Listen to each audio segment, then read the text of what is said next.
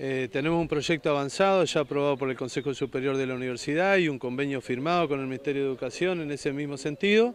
Así que bueno, hoy aprovechamos para tener una jornada de trabajo en la facultad y una presentación curricular del, del proyecto de escuela secundaria que pretendemos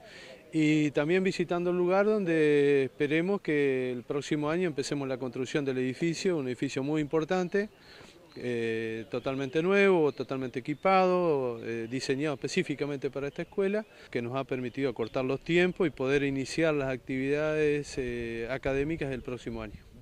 que la universidad, como bien estuvimos hablando con el equipo de la universidad, brinde otros servicios no solo a los futuros alumnos o a los próximos alumnos que tenga, sino a las propias familias del barrio. Eh, para eso hay un fuerte trabajo también con el municipio, por eso está el equipo del municipio también participando en esto, que no solo ha cedido al terreno, sino que está pensando en colaborar con otros servicios, con, con los espacios que ya hay hoy existentes en el terreno. Una escuela que sea abierta a la comunidad, una escuela que sea inclusiva, que puedan venir los chicos que habitualmente tienen mayores eh, dificultades para continuar en las trayectorias educativas y nosotros estamos, queremos atender exactamente a esa población. Lo que estamos trabajando con la facultad es que la escuela comience a funcionar el año que viene directamente, mientras se construyen las obras, estamos trabajando para ver a dónde va a iniciar la, escuela con los primeros grupos, las primeras secciones, así que en breve seguramente la, facultad junto con el ministerio y con, el municipio van a anunciar este, la modalidad de inscripción. Estamos trabajando hoy acá para que ya desde septiembre ya podamos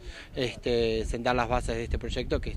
prácticamente está en ciernes porque marzo del 2016 está muy cerquita. Y les quiero decir que nuestra institución ya está, diría yo, preparada para que en esto, en este pequeño lapso de tiempo, hasta que tengamos el edificio propio de la escuela, eh, todos estos chicos puedan ir a nuestra institución, a nuestra facultad y desarrollar sus actividades ahí durante ese lapso de tiempo.